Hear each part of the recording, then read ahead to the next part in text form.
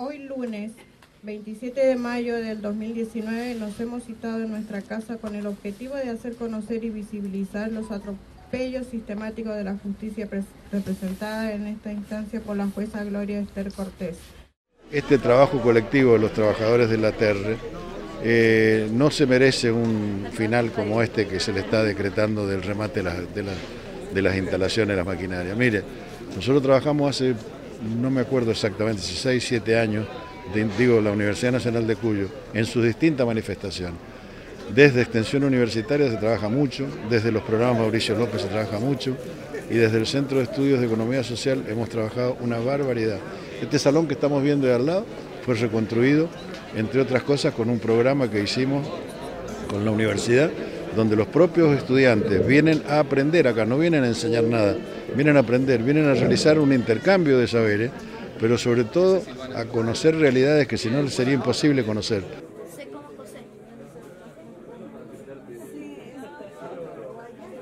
Eh, yo estoy en la parte de gestión, la verdad que venimos haciendo un trabajo bastante duro desde el inicio. Este, esta fábrica se remontó, digamos, desde un origen sin servicios, digamos, con los servicios cortados.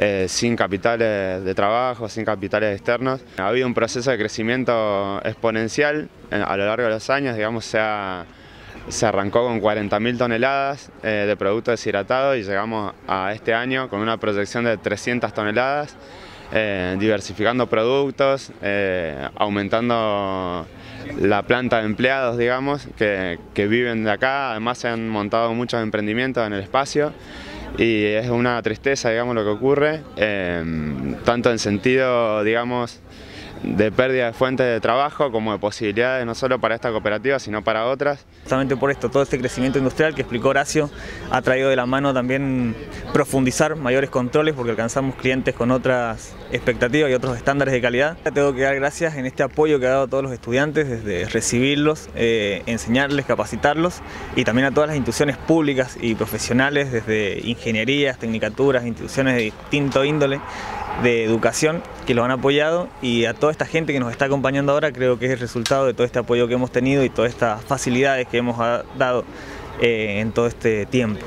Así que esperamos encontrar una solución pronta y que responda a toda esta gente que ha venido trabajando desde el inicio con todas las dificultades que ha enfrentado y que esperamos que todo ese trabajo sea gratificado y que se encuentre una solución que responda a todos ellos. También trabajamos en lo fundamental que es la autogestión. Acá hay un grupo de trabajadores, un grupo de personas que se han tenido que hacer cargo de una empresa, que no, nacieron empresarios ni tenían vocación empresaria, han tenido que hacerse cargo de eso. Entonces, eso es lo que se llama empresa recuperada por sus trabajadores, que no quieren perder su fuente de trabajo, sino al contrario, acrecentarla. Y ese esfuerzo no merece esta respuesta. Por eso desde el conjunto de la comunidad estamos apoyándolo tanto desde la universidad como desde el Foro de Economía Social que constituimos con un montón de instituciones de la economía social de hace más de 10 años. Frente a esto, la respuesta de la justicia fue simplemente rechazarla por defectos formales y volver a enviar a remate. A partir de esta negativa intentamos por todos los medios contactarnos con la jueza, pero no quiso recibirnos. Lo mismo les ocurrió a legisladores y funcionarios del Poder Ejecutivo, Presentamos en varias oportunidades al juzgado biblioratos completos con el estado de situación de la planta, facturas de reparaciones realizadas al inmueble y maquinaria y planes de negocio, pero su decisión era firme, liquidar la planta a cualquier costo. Esto sin tener en cuenta los más de 12 millones que la cooperativa lleva a invertir en los bienes, muebles con capital propio y subsidios del Estado provincial y nacional. Sin embargo, nuevamente la decisión de la jueza fue rechazarla y volver a llamar a remate. El día 23 del 5 la peor noticia llegó. La, llegó. la jueza, pese a haber recibido 10.408.000 pesos eh, en la cuenta del juzgado por el Estado provincial, decidió igualmente llevar adelante y el remate y adjudicar bien el bien a Mariano Ruggeri. Un privado se quedaría con el esfuerzo de todos los trabajadores e instituciones y recursos del Estado, ya que se pusieron a disposición para poner en marcha una planta que estaba devastada y que la misma cumpliría una función social muy importante.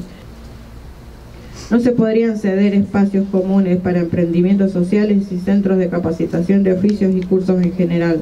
no se podría llevar a cabo el convenio firmado con la Fundación Banco de Alimentos Mendoza, en donde se brindaría un espacio físico para que funcione su centro de logística y distribución.